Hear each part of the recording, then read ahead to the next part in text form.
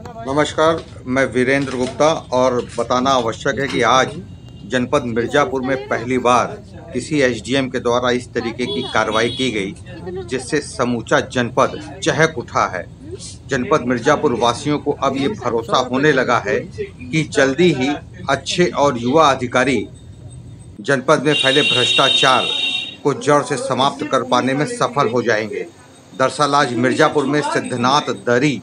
में जो पर्यटन स्थल है, वहाँ पर अवैध रूप से वाहन पार्किंग के नाम पर गुंडागिरी और वसूली अपने चरम पर था। काफ़ी दिनों से ये शिकायत मिल रही थी। उसके बाद जैसे ही एसडीएम को जानकारी हुई, तत्काल एसडीएम चुनार के द्वारा अपना तरीके से उसकी पूरी रिकॉर्डिंग की गई कि किस तरीके से वहाँ अवैध वसूली करता अवैध वसूली करते हैं। यदि निर्धारित राशि दस रुपये है किसी गाड़ी की तो उससे सौ रुपये की वसूली करते रंगे हाथ एसडीएम रोशनी यादव के द्वारा छापेमारी के दौरान पकड़ा गया और इस पूरे मामले में सबको पकड़कर थाने पर ले आया गया। इस कार्रवाई के बाद जनपद मिर्ज़ापुर के वासियों ने रोशनी यादव से अपेक्षा किया है कि कम से कम वो जिस क्षेत्र में वहाँ तो वहाँ की गंदगी अच्छे से सफ़ाई कर पा रही हैं ऐसे अवैध वसूलीकर्ताओं को ठिकाने लगाने का निरंतर प्रयास कर रही हैं। उसी तरीके से सिटी मजिस्ट्रेट को भी चाहिए कि विंध्याचल में जितने भी दर्शनार्थी आते हैं, उनसे भी वाहनों के द्वारा अवैध वसूली करने की शिकायत निरंतर दर्शनार्थियों के द्वारा किया जाता रहा है। क्या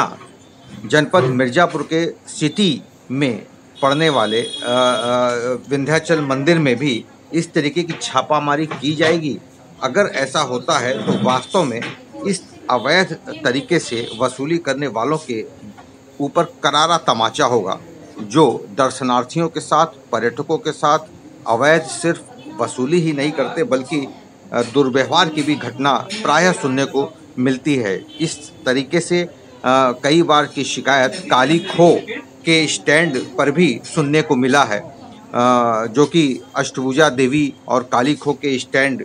पर भी अक्सर दर्शनार्थियों के साथ स्टैंड वाहन संचालक के साथ नोक-झोंक का मामला प्रकाश में आता रहता है। लेकिन आज मिर्ज़ापुर में सिद्धनाथ दरी जल प्रपात पर अवैध रूप से पार्किंग के नाम पर, वाहन स्टैंड के नाम पर अवैध वसूली करते जिस तरीके से एसडीएम चुनार रोशनी यादव ने आठ व्यक्तियों को गिरफ़्तार करके इस बात का सबूत पेश किया है। कि यदि अधिकारी चाह लें तो अवैध कार्रवाई और अवैध गतिविधि